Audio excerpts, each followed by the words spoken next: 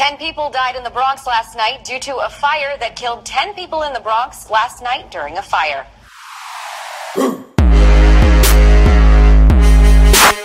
Hey guys, Mr. T Lexify back, and in today's video, I'm coming at you guys with another top 5 zombies video, and in today's video, this is going to be the top 5 bullshit theories in Call of Duty World at War, Black Ops 1, and Black Ops 2 Zombies. So let's get straight down into it. This is some of the stupidest stuff I have ever heard on Call of Duty Zombies. But anyways, guys, let's get straight down to our number 5 spot. And in today's video, this is going to be the zombie ranking system. Now, guys, this system, my goodness, when Black Ops 2 first came out and they decided to give us this big, awesome ranking system, they really made it hard for us to figure out, and it was incredibly difficult figuring out what was wrong with this, why people were not ranking up, and what the tally marks were, how people got to the shotguns rank.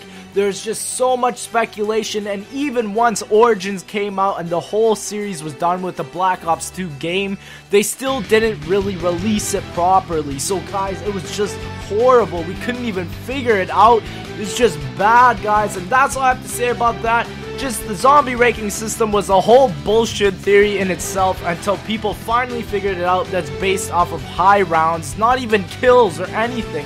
But anyways guys, let's get down to our number 4 spot, and in today's video, this is going to be the Perma Perks and the PhD Flopper Troll. Now, the day when Die Rise came out, I was so excited, guys, but when we finally found PhD Flopper on the map and we realized we couldn't get it, oh, that made me mad. But anyways, with PhD Flopper, Treyarch has been trolling with us with that perk basically since Die Rise, even in Mob of the Dead, Buried as well, and just finally they decided to release it in Origins, and it was just, oh, finally, but we didn't get an actual perk machine, we only got it in the Wonder Fizz, so hopefully they don't do that shit again with Black Ops 3, and perma perks, my goodness, there were so many, Treyarch was just giving us all these perma perks, we had no idea what they did, and it was just, what? Like the perma perks, for example, like the PhD Flopper one and Buried leading up to Origins again, and it was just so much effort, so much time wasted on this stuff. I even had to make a series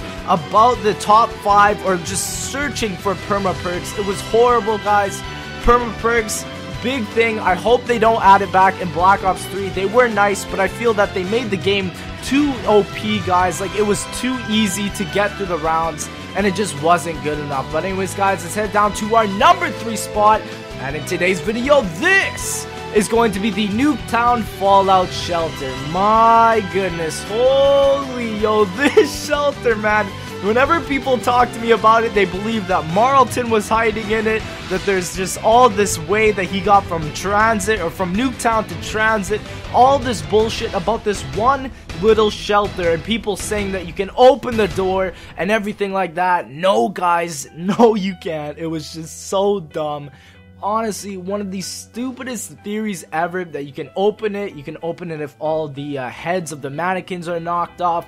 There's a bunch of really dumb stuff. And honestly guys these bullshit theories make you want to play the game more to figure out if you can actually really do it so you know what big props to Treyarch for actually making these dumb theories and I know I've heard a lot of these theories uh, with Black Ops 2 as well and just it just boggles my mind that people actually believe this stuff they're so gullible that they'll go for anything to actually see if this stuff is real. But anyways, guys, let's head down to our number two spot. And in today's video, this is going to be the transit Easter egg and the nav cards. Let's start it off with the worst map of all, the Easter egg, about how people thought that it wasn't finished. So once you finished it, you got the achievement right, but people said there must be more to this whole thing that they call the Easter egg. And there were some little signs where if you point a gun at this door, a huge light beam would shine on it. This thing got patched. It was apparently a glitched, uh, a glitch. It was a glitch, and um, a lot of just a bunch of stupid stuff about it. Like you could get the jet gun and go up to this clock in the diner and it would like shake or vibrate. It just really dumb. Again, people are too gullible for this stuff, and this bullshit, guys, it's just absolute utter bullshit. Hopefully, this isn't as bad in the next Call of Duty, because that would really, really suck. And next, and on to the next part of the number two spot. This is going to be the nav cards, guys. Oh my goodness, this nav card bullshit was just really getting on to me because honestly, I don't know what the huge problem was about it. Everyone was trying to figure it out and what the big deal about it was. I don't know. The nav cards was just used for this really dumb Easter egg and buried. That's personally my opinion. But anyways, guys, let's head down to our number one bullshit theory in the Call of Duty Zombie saga. And this is the second bus route and the second plane route in Call of Duty Mob of the Dead and TranZit.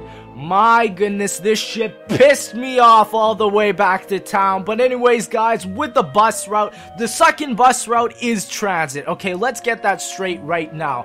The original bus route was from transit to Nuketown, and that's how people suppose or theorize that Marlton got from Nuketown to transit. That is the whole story. That is it. There's no second secret bus route. Everything that you hear on any other video is absolute garbage bullshit. Stop it with this second bus route, and then and then Mob of the Dead came along, right? And then we everyone speculated that there was a second plane route that actually went past the Golden Gate Bridge.